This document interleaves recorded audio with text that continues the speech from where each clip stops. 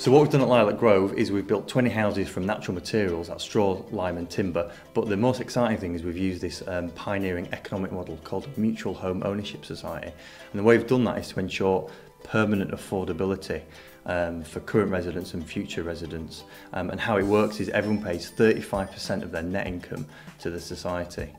Um, so that guarantees economic equality amongst our members. So we needed this bit of software and we went to see what, what other kinds of companies had, had built this kind of thing and there was nothing out there, just what we wanted. So we, we put out to tender and we said, look, we need this bit of software which is going to help us run our own community. There was nothing out there on the market. So we, put, we, we designed a brief and um, three firms put tenders forward. And Maldabas was just clearly the best. They kind of got what we were doing, both the complexity of it, but also the fact that this needs to be people-based and, and people first. The real priority for us and the reason Maldaba got the tender was because uh, really of their catchphrase, software for humans, um, which is really good for us because we wanted something which would work for our members and our members could understand and interface with really easily.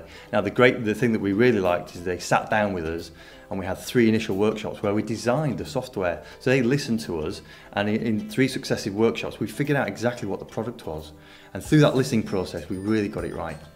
One of the challenges that we faced with Maldaba was the length of time of just quite getting this right because it was so innovative. We had to sit down time and time again to say, we've done it now, but that's not quite working. We need to retweak that and they're really passionate and, and, and keen to work with and say, let's get this just right. They're great to work with because we had these workshops and we sat down, we had cups of tea, cups of coffee, and they went on as long as we needed them to be. And it was it wasn't just work, it was, you know, it was creative, fun work as well, you know. The work done here at Lilac is something very, very pioneering and quite complex. We've, we've put together living a, a pioneering low impact lifestyle using natural materials and li living lightly on the planet, but also building a community, so co-housing and building a community of members was really important to us. And then ensuring that economic equality. So putting those three things together is in the Lilac name. So Lilac stands for low impact living, affordable community, those three things together. I would recommend Maldaba mainly because they've got this learning approach to innovation that will sit down with a client and say, look, we've got a problem, we're going to solve it together.